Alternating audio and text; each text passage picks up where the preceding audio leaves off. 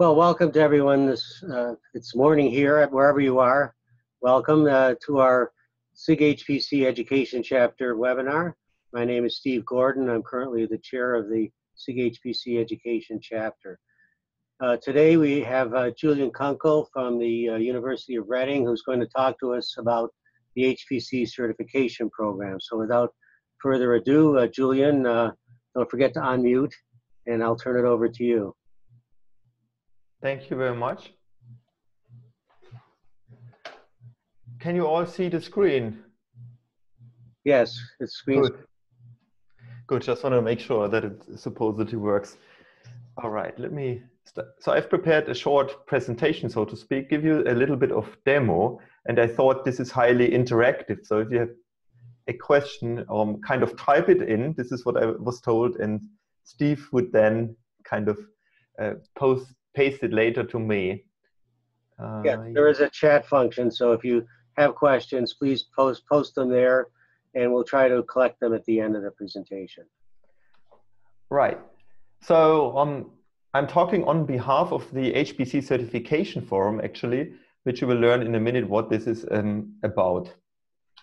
And first of all, what is the HPC certification program? Is the first part of the presentation. Then the HPC certification forum, some conclusions and ongoing and future work is very important. And I'm really glad that so many of you have interest in this topic, such that we hopefully can grow um, the overall community and make this truly an remarkable effort, like many things that are done from the HPC uh, Edu chapter. Okay, so the HPC certification program first of all some motivation right?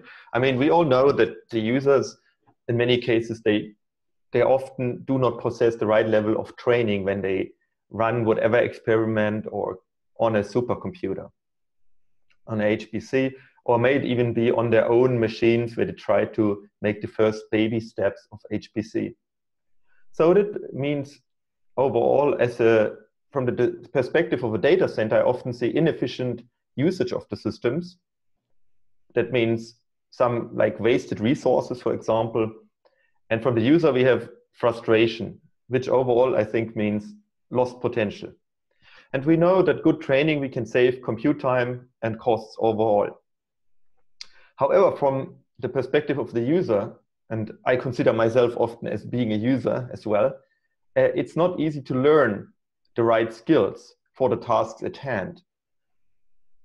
First of all, you have to understand I have my task, whatever my task is, now I have to understand what skill set are required on this particular data center. And a lot of data centers, things are handled a bit differently.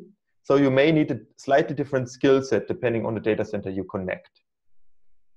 And when we look at the teaching offered, so I, as a user, right, I come from one data center, maybe I, I took a, a course, let's say about Slurm. And so now I understand what is a, a batch scheduling and what is it doing, I go to a different data center. They may also have Slurm, but they offer a different course, slightly different. But I may think, oh, now I know everything about Slurm, so why should I attend this one? And actually, what I later find out is that there was really important site specific information taught in this course, which I actually now miss. So it's really complicated, I find it, to learn, you know, what kind of skill, what is the new things that I learned from this course compared to what I have already, what I would call as a skill set, as a knowledge. So, and finally, as a data center perspective, it's really difficult, I think, to know what skills do my users have? How can I educate them further? How can we bring the right level of training to them such that they can be more successful with the task on the long run?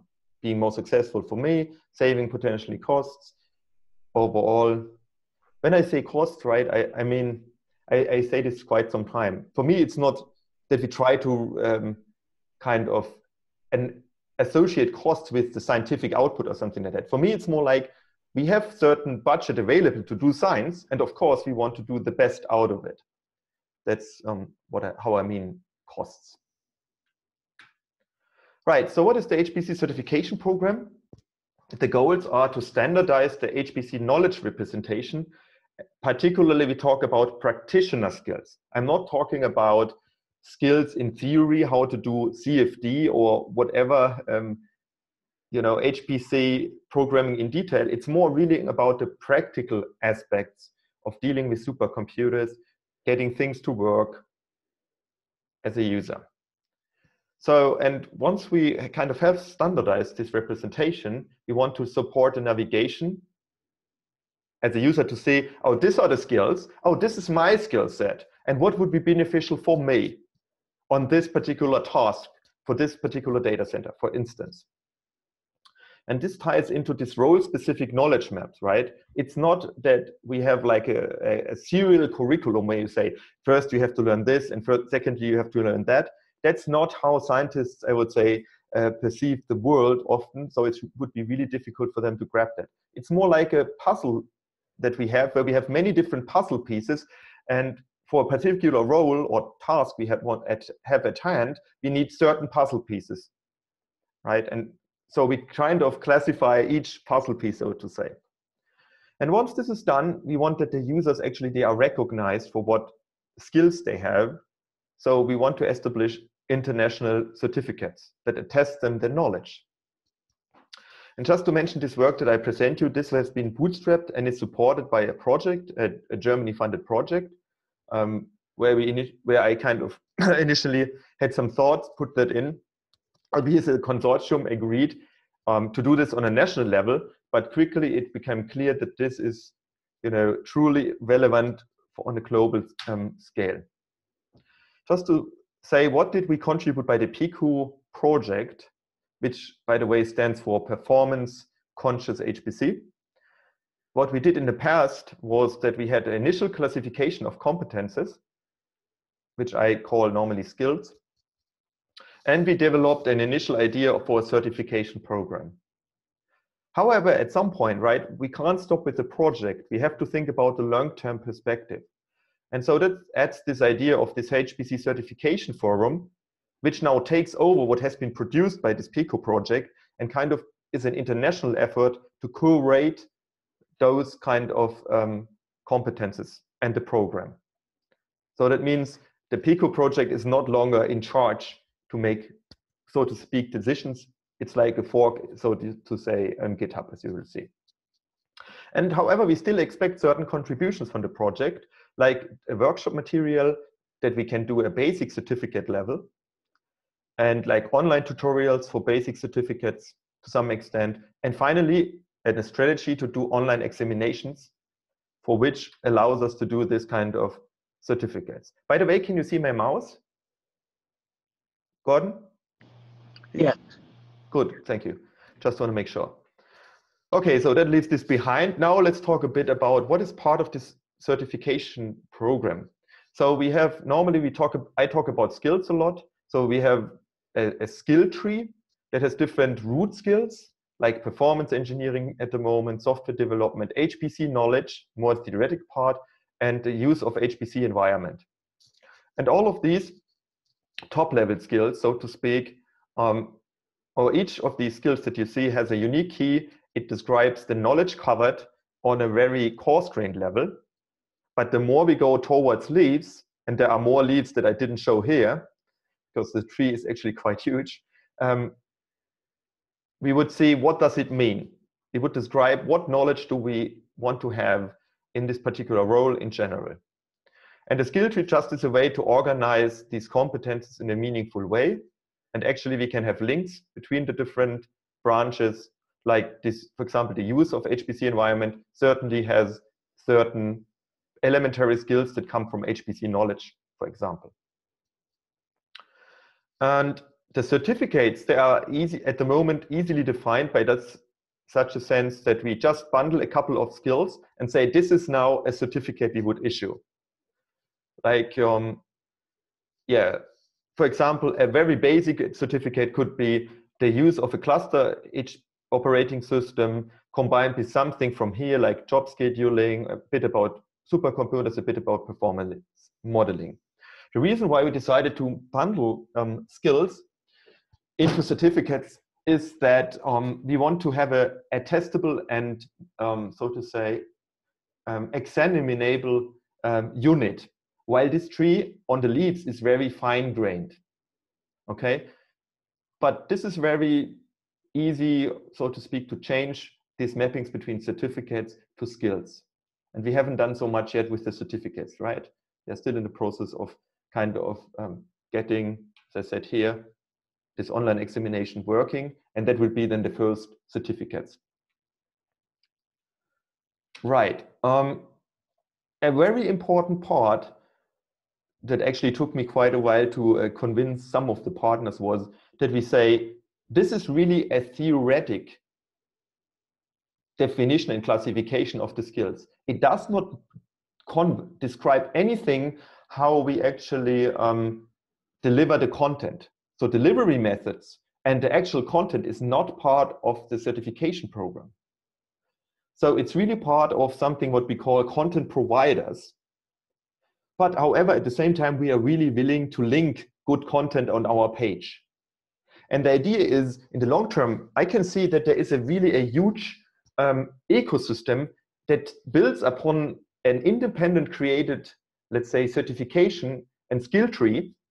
And then you have like a vendor that says, oh, I deliver a really a great um, skill set and I have really great teachers to teach you everything of it, but it comes as a cost with a certain cost, right?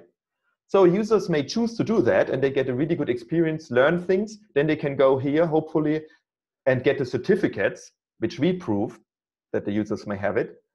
But at the same time, we have this industry of, you know, teachers, and the teachers can refer to this material that we have here.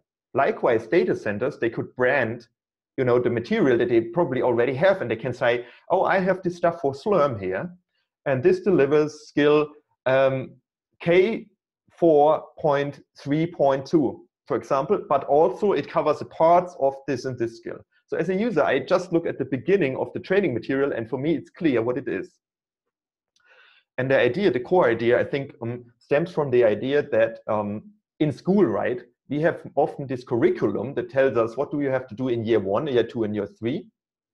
And then the books or whatever training material has to be chosen is orthogonal. So someone defines this is really good to have with students, and this is maybe in order to learn things, and someone else decides um, how to deliver this content and train students. Right here we go even a bit further because we have this kind of puzzle piece of things. We don't tell people you have to learn first this and this trade for supercomputers or something. We just say this certificate, for example, as a beginner certificate, could you could call it. Um, you know, you should have learned, for example, to run a first application on a supercomputer and understand certain base principles that stem from different parts or leaves of this tree. Right. So let me give you an example of a high-level skill. This is a hardware architectures, which is in under knowledge 1.2. So supercomputers, and then uh, beyond supercomputers, we have something which is hardware architectures, and we have a sub-skill which is called the basic level. So we can have different levels, like a basic one, an, an intermediate one or expert one. You could imagine there is one that is called an admin one that trains you actually not as a user, but from the perspective of an administrator. So this one has a level basic and it's a category HPC knowledge. And then we have some keywords like phrases, what people have to learn, right? You should learn something about elementary processing elements, something like vector system and FPGAs. So this is part of this, like NUMA architecture, networking for HPC systems, and typical network architectures in HPC systems. This is just an example, right? I'm not saying, and certainly what we have now is a version of, I would say, 0.5. To make this truly um, a great effort, we have to still incorporate a lot of feedback that we um, receive and kind of make sure that the forum takes this leading role to classify those things, skills. Right. Um, yes, I said maybe HPC skills, they are generally built upon one or of the or the other. So we have this generic topic like HPC knowledge. What do we mean by that? What is HPC knowledge? What is hardware knowledge? What is the definition of that? What does it cover? And then you, the more you go towards the leaves, the more specific it gets, right? So we can have these references to the skills. Technically, at the moment, we have realized the skill tree as an XML. More about this later. Um, and we have a schema, of course, to ensure the consistency. And you can use additional attributes for, for the different skills like this basic, intermediate, and expert, and certain user roles like tester, builder, and developer. But this is something where we actually work on to kind of outsource them because they are orthogonal aspects. And another aspect is the scientific domain. So I can certainly see the different scientific domains, they have different need for different skills. While they are mostly similar, some of them may use certain other knowledge, for example, particularly when it deals with software engineering. And how we actually want to handle that is what you see in a second, is that we have different views on the content. Okay, let me show you, uh, if I manage to get this up here. This is now, um, I will make it a bit larger, uh, but then unfortunately it kind of breaks. I hopefully, hopefully you can see it. This is now a uh, JavaScript presentation of the current skill tree, or one version of the skill tree. And when I hover over it, I get some basic information, what it is exactly we can we configure. And you can expand these nodes. Like I can go to supercomputers. In supercomputers, I have hardware architectures. Yeah, and then I, you know, see some basic information about this. And you can, I can imagine, or actually we have a version of this where the user can download this JavaScript presentation. A data center could do that, for example, and they create their own derived skill tree by coloring, for example, certain nodes they find not important for their task at hand, which is a way of customizing it. And likewise, the content that you see now in these boxes, it can also be adjusted so that we can add, uh, for example, oh, I use the same visualization. That's the key part, right? Because we want to standardize a bit on the visualization. I'm not saying this is the last version, so to speak, but let's standardize on a visualization to one way or the other. And now a data center says, instead of a description what it is, I tell you, I have this course that I offer in the summer term, or I have this teaching material, and I provide all the links inside here. So as a user, it's now, once I understood this kind of tree, then I can go to different data centers in the future, hopefully. I go to their page and I see, oh, what do, what do they offer in terms of hardware architectures? As a training material, I see I have some lack of knowledge in there. I go there and I see the material right? So this is kind of an ecosystem that I, I'm talking about. I really think this is, or at least this is my thought, that this is, would be really great to have. Um, also, we have not only this JavaScript version, but we have stuff like in FreeMind, you can export, because it's XML, we can export a tree to FreeMind, where we can do similar things and export different versions of the tree, which has annotations or not. So I really think we have some kind of tools, right? We have we have this to represent and navigate and make this knowledge as a wisdom from all those HPC experts more perceivable, more navigatable. That's kind of the overall idea, right? So let's go back to my presentation. Right. Um, so we have a first version of the skill tree release, which has 35 basic skills at this XML, and it's available on GitHub.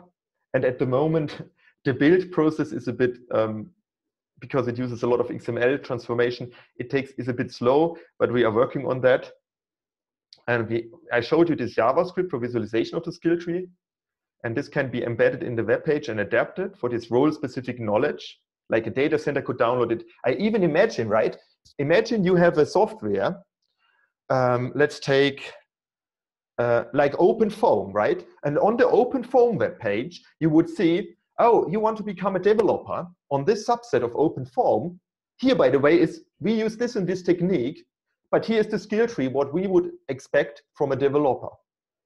You know, it's very easy, you know, to grab then or understand once we understood the skill tree and we use this a lot it's really easy for users, right? Instead of writing all the time, but you have to know how to use Slurm and particular this sub command or what have you, which may be really hard sometimes. And I think really this adds to the question, how do we represent knowledge and uh, what should people know to effectively work in your environment, right? Or the environment of a data center in the software, whatever. Right. And I would find this really great, even if I have a PhD student potentially and I say, you know, here we want to offer you um, this PhD topic about, let's call it OpenFOAM, but I expect this thing as a skill set. And as long as you have most of these things covered, come to me right? It's much easier than even in an application than people write something, oh, I know Slurm. Then you have to think about, did they use the right term in their application to a, to a job? Or what is this? They can rather write, I have these and these skills, right? And at some point you just put them in back into the map and you see what skills this user has and you can compare it with your needs and then you find the best applicant. That's kind of, I think, cool. I, I consider this cool um, in such an environment. Generally, this was um, quite, so we have been working on this project now for what, two years? Generally, the project covers more than just these HPC skills, obviously, but um, we had undergone quite some transformation and a lot of discussions. So, for example, what is the granularity of the skills? So if it's too fine, like um, you would call the move command for bash or the moved command line tool, this would be very fine grained. If it's too coarse, it helps not you, it doesn't help you to structure to structure the material. For example, there are other companies like Red Hat that offer you a certificate, but there is like three top level certificates. You can be administrator, you can be this or that which is like you have to learn tons of things, which is kind of what we never can expect from our users. I can expect from the user to say, okay, you can learn the skill basic navigation in basic um, navigation in Linux. And this is a unit which we can, then came up to say, you can learn this in 90 minutes, for example. Right? 90 minutes is a good way of delivering content.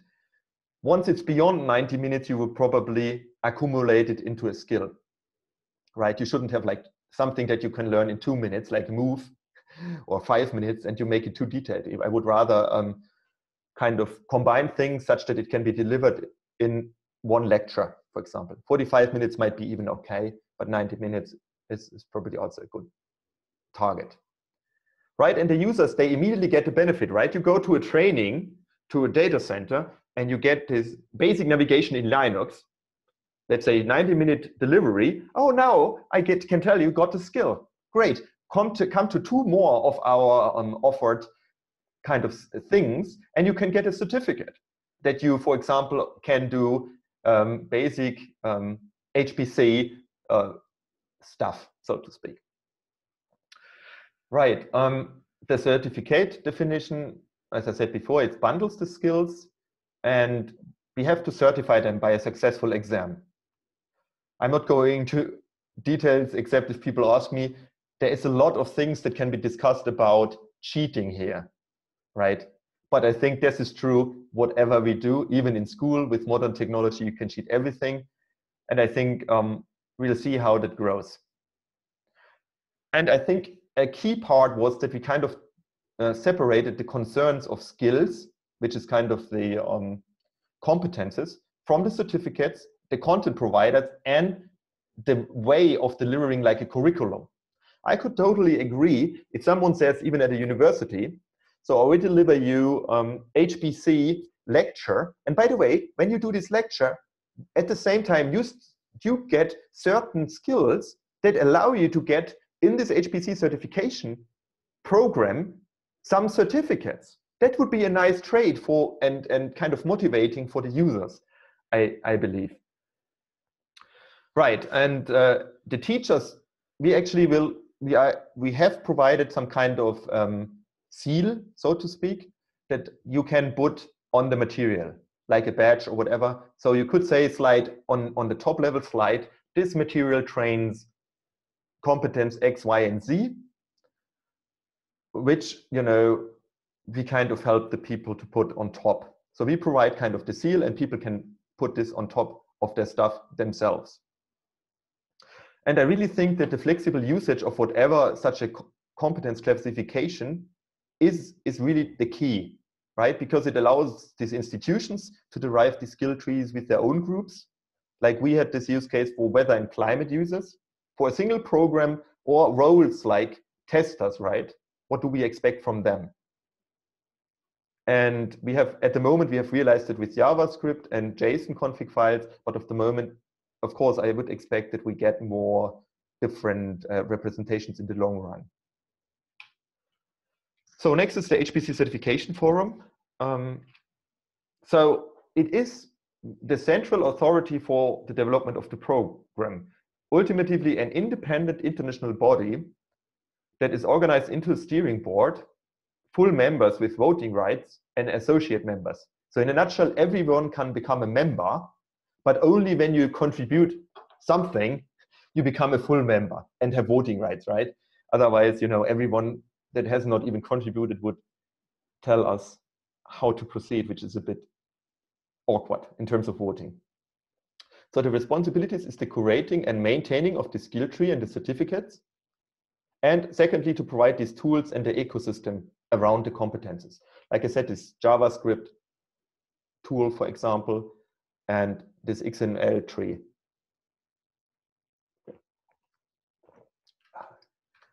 So how do we do governance? At the moment, we have an initial set of government rules where we split the responsibilities across different roles. And at the moment, I'm actually the program chair, have been um, assigned by the other members. And we have a, a, a, chair for dealing with the curriculum. You know, when you do kind of merge pull requests to the changes of the curriculum. And then in, within the curriculum, we have for these four topics, that we I have outlined like HPC knowledge, performance engineering, and the use of HPC environment, we have found different people that kind of are now the owners, so to speak, of those um, or maintainers of those branches. And they make these minor changes and then they would kind of, together with the curriculum chair, merge them back, so to speak. So minor changes are dealt by them and at the moment, we do not have anyone for software development. Hopefully someone comes. But just to mention, so we have someone from industry and we have people, you know, from Germany, um, UK, and actually from Australia. So I think there is, um, it is truly an international activity, right? And uh, actually we have also the first people that said, oh, I want to write um, a master thesis or something about this topic, how this could influence teaching or, or how we could structure things better. I find it really nice and was surprised to hear that because it's just like half a year ago when we announced this initial international activity. And we have a publication chair, publicity chair, and we have an examination chair, but this one is not seated this year because we do not do examinations yet, but it will be seated. Right. At some point, certainly we need someone, a, a webmaster. At the moment, it's a bit rudimentary what we have as a web page, but it will, surely will grow at some point. Oh, yes. And this is kind of the official um, logo for the HPC certification forum. And in short, it's HPC CF as an abbreviation. Okay, what else to conclude? So the expected benefits generated, we, we as a team kind of thought is um, that we increase the motivation of the users to participate because they get a reward, they get the certificates that you can actually put into your CV. And people not longer would ask, if you say Slurm, you know Slurm, what do you mean by that? You would say, I have this certificate and this actually attests you this and this. This is really, I think, a key benefit for users to be to like for some users to like those things. And we would validate knowledge via tests. At the moment we would do online examination multiple choice. This is what we have on the agenda. Um, we allow this browsing and navigation of the competences which simplifies to find out what should you learn next. And if this ecosystem kind of works, ultimately users and data centers or software owners, so to speak, that have a certain software and data centers, they would publish required skill sets for certain tasks. And it would also help to understand and compare the teaching offers across sites, which I think is not only a benefit for the HPC practitioners, but also for the data centers, in fact, because it increases the sharing of teaching material. Right? I've seen so many teaching material like Slurm or whatever, and everyone says, oh, we need our own introductory sled. Can't we share? And this is as all data centers have the same problems with a short number of stuff typically i think this is a key piece that would be um, kind of fueled by such an activity and it simplifies the documentation of the skills we teach because i can just say this skill k 1.2 skill k 1.3 and skill k 1.3 partially whatever that means and it identifies missing teaching activities right? If I see as a data center, I offer just these pieces, but at the same time, users have certain problems, well, I lack certain skills that I teach, right? And I can identify those uh, missing pieces and add them. I can tailor the skill representation to users, which is pretty nice. And I can, I find this a really long-term strategic plan. What can we do with that is that we can correlate a certain lack of skills with the efficient use of the data center. Not in the sense that we want to blame users, but in the sense that we would say, oh, you know, you repeatedly make this and this mistake, and in in the in we see in your user profile you lack the skill uh, K 1.3 Slurm, I don't know, details. Maybe you should go to a training because not because we think you are, you know, crazy, but because statistics have shown that users that take this training, they will be 50% faster doing the job that you try to do. Imagine, you know, how much time that saves for you. I think, you know, we can do machine learning and all those fancy things on top of once we gather that. Of course, there is a longer term discussion of about privacy that we could help on this. Um, but certainly I see as a user, right, I would see the benefit because I want to know how I can improve and be more efficient in the tasks that I have to produce ultimately more science. And as a role, as a user, my role is to produce science and not to use a supercomputer, right? So that's why I, I put this. So to wrap that up, um, so it's an effort, the HPC certification program is an effort to standardize the representation of relevant HPC skills. We have this hierarchical definition of skills for practitioners and we kind of believe this is like a building blocks or a puzzle that you can cherry pick the skills for different tasks. Certainly our goal is not to provide the content or any or define any linear or whatever type of curriculum. This is out of scope and should be treated by the individual stakeholders as it is right now. And for the data centers, I think we have this benefit that at some point we could actually make it mandatory for users to say, if you want to run a job that takes more than 100 nodes, you have to have to have to show me that you have these basic skills, this certificate, for example. Right? Because we have we know if you have that, it will make you happier and us, so to speak. Right? At the moment, there exists nothing like that. I think directly. And finally, we could use statistics and machine learning, you know, to help the users to find the right skills and actually open the door for more um, even it's something like a personalized training right if if you have 90 minutes time so to speak what should i do now i may ask as a user and then you put in what you have done as the tasks so far on the supercomputer and the system will tell you oh if maybe you should try this skill to learn and then you find out yes this is offered by my local nearby data center why not go there right so I can add something to my CV. Yes, this customizable navigation for the data centers with this interactive viewer.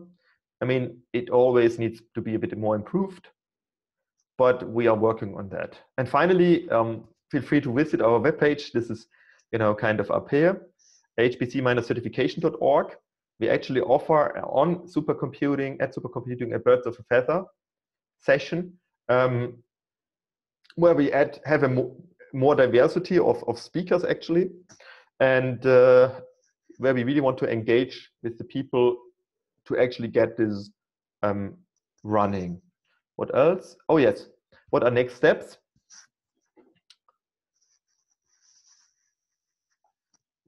We work that we get this first version of the skill tree done, which we could then release. And of course, there will be later versions. Nothing has to be perfect in the version one. Then we would release the seal that can be added to the training material. We already um, collaborate here with the some the Gauss Alliance from Germany, which is multiple. It's like a German, you can say, non-profit organization that covers a lot of actually the HPC environment in in Germany. Then we final, I currently finalizing the documentation how to create these views with the JavaScript that you can outsource the roles like tester, but and also link to your own material. This is just in large steps.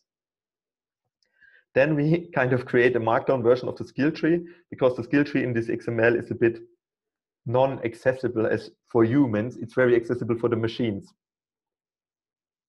Mm. And once we have that, we actually embed this version into a wiki kind of style that can be edited by um, members. Not saying every change that is made there is directly reflected in the skill tree, but it would then go to a Git version control system such that we can, you know, kind of cherry pick good features and discuss it.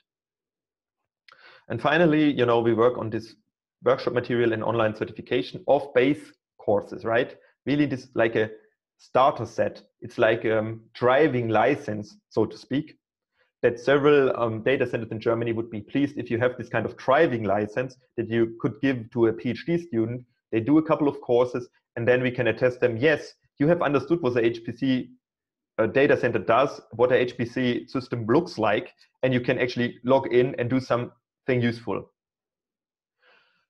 And as I mentioned, you know, cheating has been a, a very long discussion, but actually, I wouldn't want to focus on that. And that kind of concludes um, my talk. Thank you very much for listening. And I'm looking forward to get all your great comments, comments and any further suggestions is welcome. And join us, work with us. We really try to get every, everyone on board on that. Thanks. Thank you, Julian. That was a very uh, comprehensive presentation. So now uh, we're open to questions and either you can um, unmute and ask it verbally or you can post something in the group chat uh, and I'll pass that on to Julian to answer the questions. Julian, when you um, when you're done, if you can also send me a, a, version of the slides, I'll post it along with the video of the session. Okay, cool. Of course, I will. Okay. So, questions from the audience.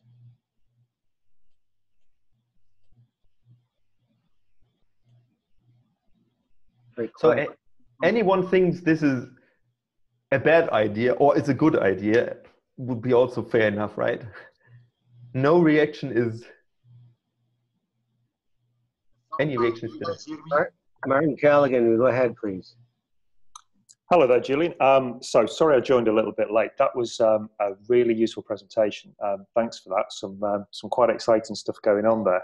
Um, just a question for you, really. How do you see this um, fitting in with some of the other initiatives, like say HPC carpentry um, and that type yes. of that type of work? Very well. Yes. So indeed, we did look at other initiatives, and there are many going on and i really see this as an orthogonal aspect right so we classify if we manage to classify all this knowledge and someone else comes that has a good idea to make like a curriculum out of it they can use this classification right for instance so it's really yeah. orthogonal I, I don't see um, yet how this conflicts or has a negative impact let's say on hpc carpentry no, I think from what, from what you said, I think you, you more or less answered that question. That you're not you're not really trying to define a curriculum. You're trying yes. to define, define a sort of uh, matrix of skills that people can help build a curriculum around. So you're right; they, they would be very very complementary. Uh, no, that's cool. Thanks very much. Cheers. There's another question. Um, is uh, is teaching how to compile open source packages included in your curriculum? That yes, it actually should be around there, albeit even since it's just just 30 parts, uh, 34 um, skills, I'm not always sure if everything is covered. You know, we discussed about so many things, uh, and we have the, you know, when we make this initial decision, what is HPC knowledge? What is um, the use of HPC environments, and what is software engineering, right? So there is a certain part, like software engineering. A lot of people, they are just really end users, so to speak. They never will compile anything. Hence, this branch here, like software engineering, is totally irrelevant. So they wouldn't even look at this, right? They may be interested in performance engineering to some extent, but not in other pieces. Now, in the, H in the use of the use of HPC environment, this is the point where we had initially, and actually we had the way of compiling software. And we have here, for example, in the software engineering part, still the software engineering piece, how, how to do the configuration management. But somehow in the latest version of the skill tree, it has been lost. So I have to re-add it again. But essentially, yes, it should be here because using of the HPC environment, that is, so to speak, for, for one of the roles that is closer to, to people like tester, the role of a tester, certainly it is you run existing software on it. So you have to compile it. So it should be part. Oh, actually, it is part. Oh, running of parallel programs. Um, we let me and building of parallel programs. It's here. As you see. So it's in the piece. When I make it bigger. So building of parallel programs, yes. See, I, I, I was thinking it. I was we dropped it accidentally, but it's still there. Yes. Okay, so it's under the use section. That's that was one. Mm -hmm. Okay, thank you. but but not saying right. As I said, I'm 100% sure. I mean, this thing has been gone through, let's say, 10 people, so to speak, and it's not final, right? So we have to go to more people and make sure everything is really covered. Then I'm more confident with such questions. Sure, sure. Other questions?